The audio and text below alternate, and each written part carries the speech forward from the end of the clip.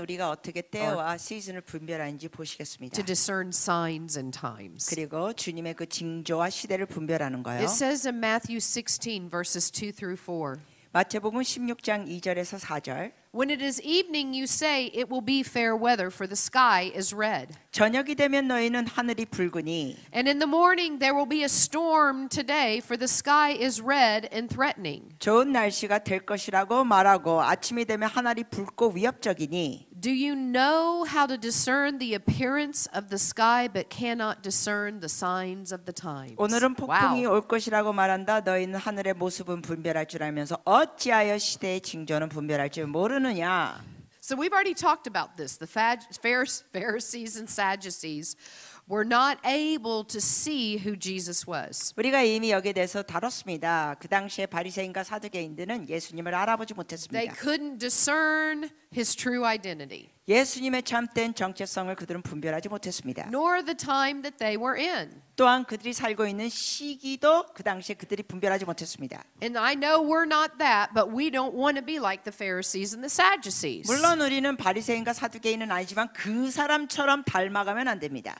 Because he wants us to know and to discern the signs and the times, not only of like weather, things like that, that they could do, 그러니까 하나님께서는 우리가 물론 뭐 날씨를 보면서 이렇게 파악하고 분별하는 것뿐만 아니라 but to be able to, to discern the signs of, when the, of the time that we're living in. 우리가 살고 있는 이 때를 분별하기를 원하십니다. And I know we all know it, but I'm going to say it again.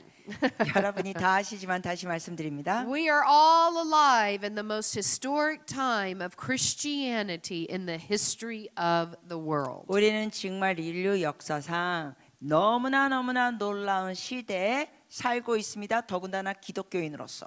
I mean, what a privilege to get to be alive now, right? 여러분 우리가 지금 살아 있는 건 어마어마한 특권입니다.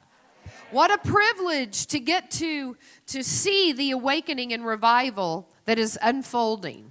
지금 펼쳐지는 이러한 부흥과 그 영적 각성 이 시대 살고 있는 건 놀라운 특권입니다. It was at a WLI graduation in 2007 in Colorado Springs. 2007년도 미국 콜로라도 스프링스에서 WLI 졸업식에 있었던 일인데 And um, Peter and I were just engaged in a conversation. 그때 이제 와그너 박사님하고 저하고 좀 대화하고 있었습니다. And all of a sudden, he just stopped. 근데 갑자기 와그너 박사님이 스톱하셨어요. And he looked at me 절 보시더니 and he interrupted me. 제가 말하는 거를 방해하고 말씀하시기를 And he did this, like he touched my arm. 이렇게 저의 팔을 터치하셨어요.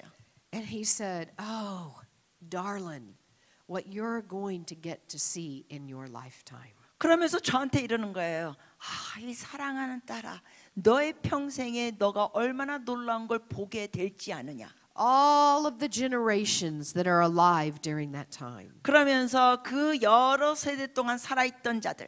Oh, what you're going to get to see. 그래서 박사님이 저한테 그래. 너는 놀라운 것을 보게 될 거야. He said, You are alive in the most historic time of Christianity. 그러면서 저에게 말씀하셨습니다. 너는 정말 기독교 역사상 굉장히 놀라운 시대에 지금 살아 있어.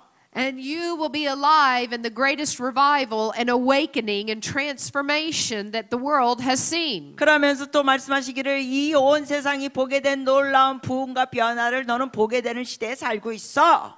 So that wasn't just for me, that's for all of us right now. 이거는 저에게만 주신 말씀이 아니라 여러분 우리 모두에게 주신 말씀입니다.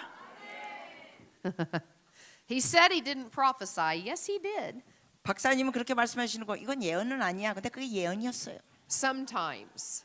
때로는. 때로는 그게 예언이. 돼요. but he would keep track of his prophecies 근데 박사님은 이러한 예언하신 것을 계속 기록하시더라고요. because he didn't do it very often. 왜냐하면 박사님 별로 예언을 자주 안 하셨기 And 때문에 so he would watch to see if it came to pass. 그렇기 때문에 당신 예언하신 게 이루어지는 걸 잘 관찰하셨습니다. He had an Excel sheet. 그래서 컴퓨터로 엑셀 시트에 그걸 기록하셨어요. And he'd watch to see if what he prophesied happened. 그러면서 그분이 예언하신 거 본인이 예언한 게 이루어지는지 잘 관찰하셨습니다.